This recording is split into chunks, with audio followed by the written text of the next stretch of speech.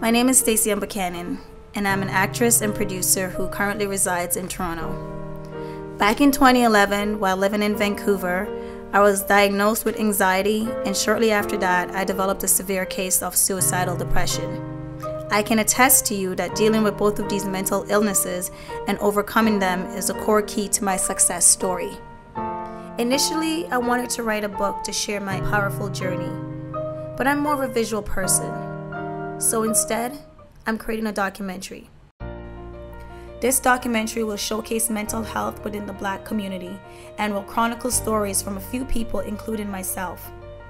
I chose to create the documentary and make it about the black community because it is a swept under the rug stigma that has been creating false illusions and assumptions for a long time. Our goal is to raise awareness to this very stigma. However, we cannot do this project alone. To create and produce this documentary, we need help. There are certain uncontrollable expenses that are involved in creating and producing a documentary. My team and I are thankful and grateful for any amount of donation that is given towards this project. Your donation will help us bring focus and awareness to a very important issue that is slowly plaguing the black community.